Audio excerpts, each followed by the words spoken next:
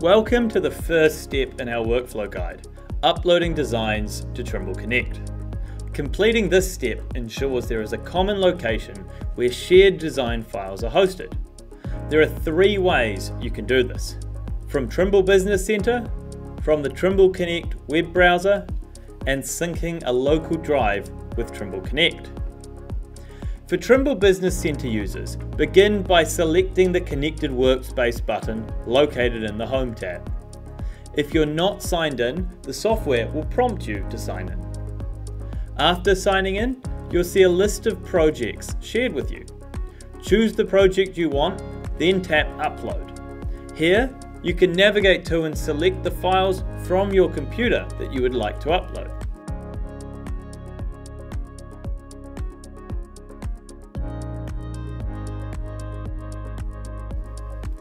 If you're working with a new design created within Trimble Business Center, such as this surface file, select the file and click the Export button in the Home tab. Because we want to save this file directly to the cloud, choose Remote Save. Choose the project and the folder to save the file to, and click Save. That file is now available in the Trimble Connect cloud.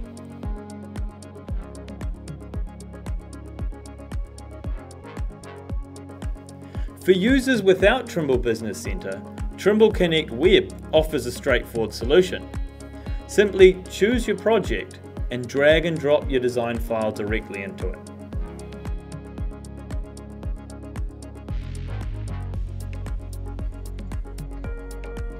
The Trimble Connect Sync app is ideal for users who want to synchronize the cloud with a local drive. In Trimble Connect Web, navigate to the More button and select Apps. Download the Trimble Connect Sync app for your desktop.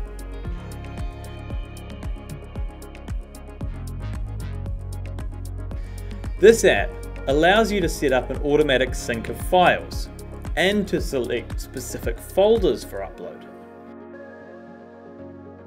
It also allows you to choose file types to exclude or include in the sync. Once it's set up, when you add more files to the local folder, they will automatically appear in the cloud. That's the first step in our connected workflow.